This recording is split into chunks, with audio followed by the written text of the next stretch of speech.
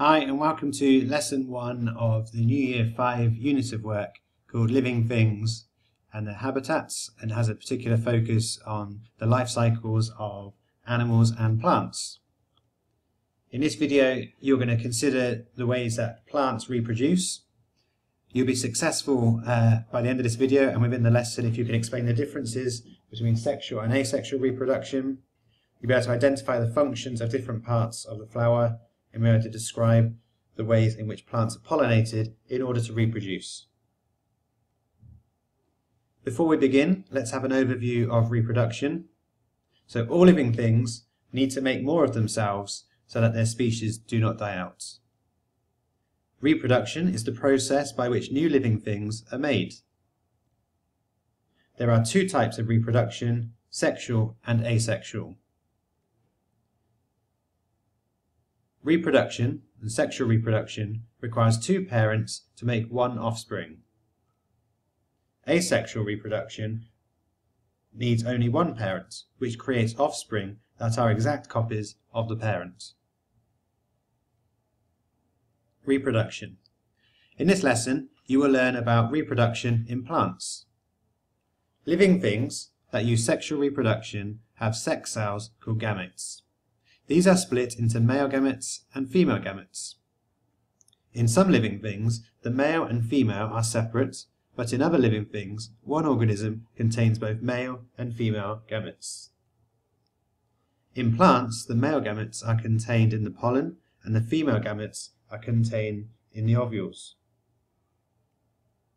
Sexual reproduction happens when a male gamete and a female gamete join. This is called fertilization. Sexual reproduction produces offspring that are similar to both parents but not identical to either. Insect or wind. In pollination, pollen from the stamen is transferred to the stigma. A pollen tube then grows down through the style to the ovary. The pollen travels down the pollen tube and fuses with an ovule in the ovary. This is fertilization. Although flowers contain both male gametes in pollen and female gametes ovules, most plants cannot fertilize themselves. They rely on other ways of transferring the pollen to the stigma. This starts the pollination and fertilization process.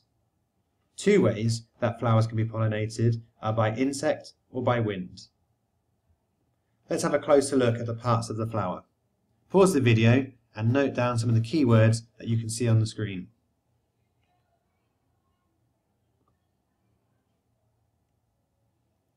In class, you're going to consider insect or wind pollination, and you work with your teachers to consider how plants uh, can be pollinated and fertilized.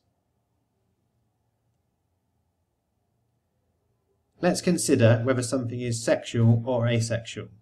Some of these statements describe sexual reproduction and some of them describe asexual reproduction. Can you decide which are which? Pause the video, read the four different statements and decide which category they would fit into. Okay, hopefully you've had a chance to look at these four different statements. Were you right? Let's have a look. So offspring are similar to their parent but not identical is sexual reproduction. Asexual reproduction requires just one parent, whereas sexual reproduction needs two parents. In asexual reproduction, it produces identical offspring.